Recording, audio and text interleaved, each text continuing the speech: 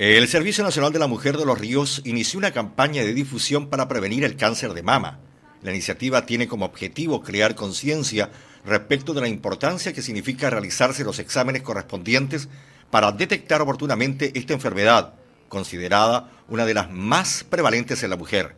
En este contexto, la directora regional del CERNAM, Remsa Delich, aseveró que la campaña busca que la población tome conciencia sobre el cáncer de mama es un problema de salud latente todo el año y que afecta no solo a la persona que lo padece, sino a todo su grupo familiar. Desde el Servicio Nacional de la Mujer llevamos tres años consecutivos trabajando con las mujeres, educándolas, informándolas. Esta ha sido una tarea que hemos realizado durante el año, el, durante el año continuo en general.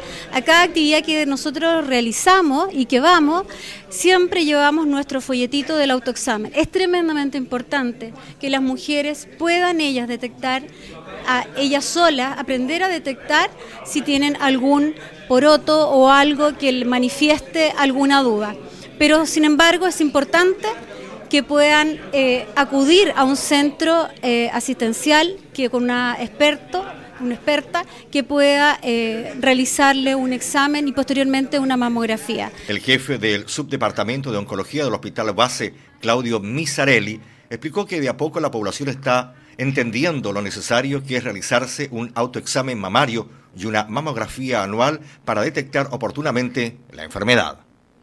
Uno siempre saca la excusa de que, por ejemplo, ok, yo voy al consultorio, el consultorio no tiene hora para darme mamografía.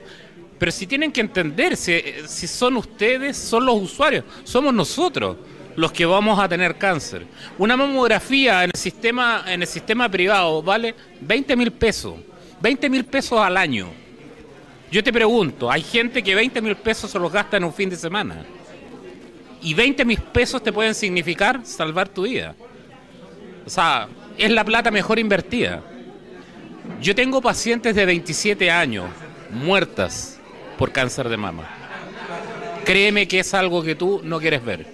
En este sentido, este sábado 20 de octubre se llevará a cabo una corrida por la vida en el helipuerto de Valdivia, a objeto de fomentar la vida sana, el deporte y una buena alimentación.